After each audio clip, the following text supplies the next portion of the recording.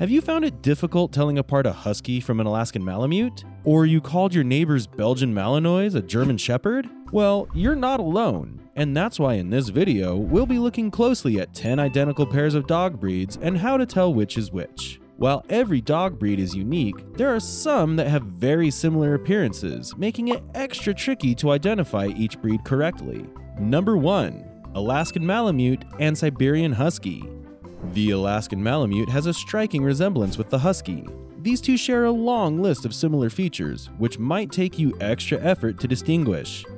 Although originating from different regions, they were both bred as working dogs in extremely cold climates, hence their thick, double layered coat. Although they share a close genetic relation with each other, their places of origin differ. Siberian Huskies were first bred by the Chukchi people of Siberia, while the Alaskan Malamute originated from the Malamute tribes native to Alaska. These two may look like twinnies at first sight, but when you know where to look, it becomes easier. Malamutes are generally larger and heavier dogs with a distinct curled tail, while the tails of Huskies are shaped like a brush and hang more upright. Huskies also have a signature white stripe line on their foreheads, absent in the Malamutes. It is also notable that Huskies can have both blue and brown eyes, while Malamutes only have brown eyes. Number 2. Collie and Shetland Sheepdog. These breeds share remarkable similarities, from their appearance to their personalities and heritage. Both breeds evolved in the rough terrain of Scotland and Britain as herding dogs. They are also double coated dogs with similar coat textures, thus, their coat care is similar. They have a few key differences. Sheepdogs are more fluffy compared to collies, who probably might have just as much, but it lays flatter and straighter with generally longer muzzles. Sheepdogs are also bulkier and can weigh almost twice as much as collies. Number 3. Cairn Terrier and Norwich Terrier.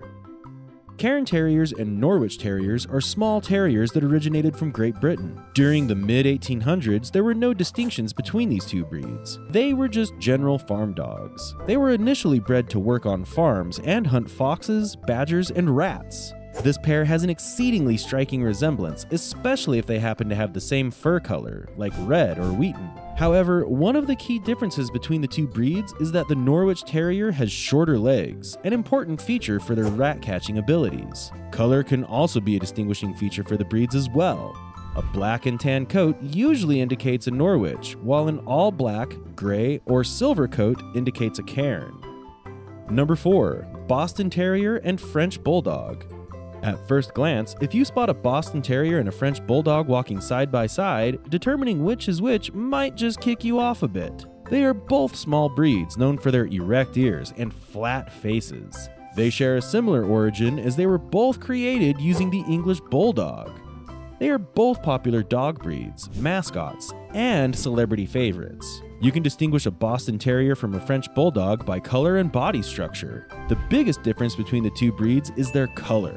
Boston Terriers have a tuxedo coat of white and either black, brindle, or seal, while Frenchies, on the other hand, come in distinct color appearances. Frenchies are also known to have blockier heads with many wrinkles, while the Boston Terrier has a square head with few to no wrinkles. Number 5. Whippet and Italian Greyhound. Italian Greyhounds and Whippets look very much similar. They are both considered smaller versions of the Greyhound. At first glance, these two breeds look almost identical, but upon closer inspection, you could pick up some differentiating features. The Whippet is nearly double the weight of an Italian Greyhound. Whippet's weight ranges between 25 to 40 pounds, while the Italian Greyhounds range between 8 to 11 pounds. Standing side by side, you will also notice that the Whippet stands slightly taller than the Italian Greyhound. Italian Greyhounds may bark more than Whippets, and Whippets tend to prefer more outdoor playtime than their counterparts. Either way, they both make terrific companions to their owners. Number 6. Belgian Malinois and German Shepherd. The German Shepherds are easily recognizable breeds. On the other hand, the Belgian Malinois isn't well known, so when people indeed come across one of these, they think it's just another German Shepherd. Both Belgian Malinois and German Shepherds were used as herding dogs, so they both tend to possess high energy levels and are very intelligent dog breeds. These traits contribute to why they are mostly utilized as police, military, and service dogs. These breeds are similar in size, fur coloring, and a lot of other physical appearance, but if you look more closely at this pair, you figure out that the Malinois is more slender, smaller, lighter, and has shorter hair in comparison to the German Shepherds. Number 7. Lhasa Apso and Shih Tzu. The Lhasa Apso and Shih Tzu are one of the most difficult dog breeds to tell apart, and will take more than a trained eye to tell them apart. They both originate from East Asia and have a shared bloodline. The Shih Tzu have Chinese ancestry, while the Lhasa Apso has a Tibetan origin. The Lhasa Apso is bigger than the Shih Tzu, which is the most obvious physical difference between the two breeds. Although bigger, a Lhasa Apso normally has a smaller bone structure, Therefore, it will look slimmer than a Shih Tzu, which has a more solid body structure. Another key difference is that the Lhasa Apso has a dense and thick coat, while the Shih Tzus have a more lavish double coat with flowing tresses. Both are low shedders and are considered good choices for those with allergies. Number 8. Maltese and Coton de Tulear. Just by randomly glancing at these two breeds, an observer may think they were born from the same dog parent. Not only do they look almost exactly alike, but they also act the same way with very similar personalities and temperaments. It doesn't matter which you choose for your household, as both make good pets, but knowing the similarities and differences can help you pinpoint which one you prefer. While they may give off extremely similar appearance, there are a few ways in which you can identify one from the other. The most notable difference is in their size. Maltese dogs are much smaller in size than the Coton de Tulear. While a Maltese can weigh up to 8 pounds, Coton de Tulear dogs weigh close to 15 pounds, which is almost twice as much as a Maltese. Number 9. Beagles and Harriers.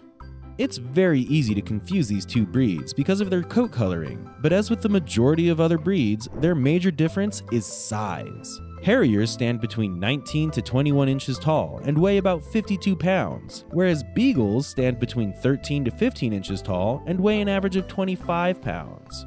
Unlike Harriers, Beagles have a tendency to develop separation anxiety when left alone, which can make leaving home hard for pet owners. While they're still an active breed, Beagles are known for being less energetic than Harriers. On number 10, Bernese Mountain Dog and Greater Swiss Mountain Dog.